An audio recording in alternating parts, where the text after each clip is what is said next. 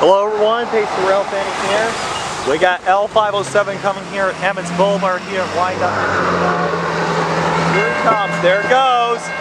Uh-oh, someone flew past gates, not good.